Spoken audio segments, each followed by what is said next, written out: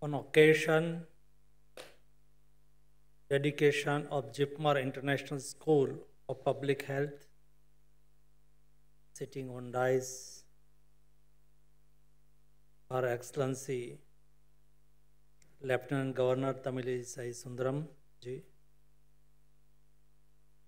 Honorable Speaker R. Ji, Honorable PW D minister ji both in Lok Sabha and Rajya Sabha sitting on dais of all dignitaries student faculties deans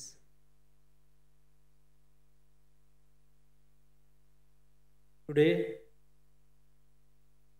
as a address this young gathering of doctors, experts, and faculty, it gives me immense joy knowing very well that the health of the nation tomorrow is good hands.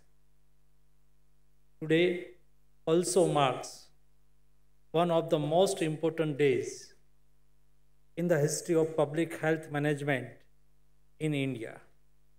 Having a dedicated the International School of Public Health to the nation.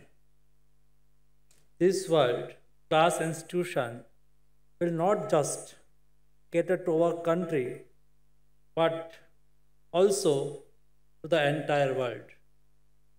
Keeping in tandem with the Indian philosophy of Vasudhaiva Kutumbakam.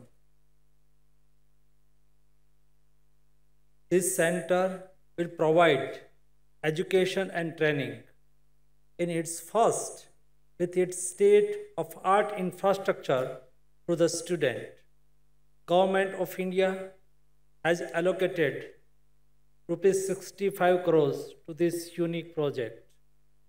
We have seen how under the able leadership of Shri Narendra Modi ji, India spearheaded the fight against COVID and developed a strong and robust mechanism to country to counter public health issue and emerged successful in the management of this pandemic. I urge students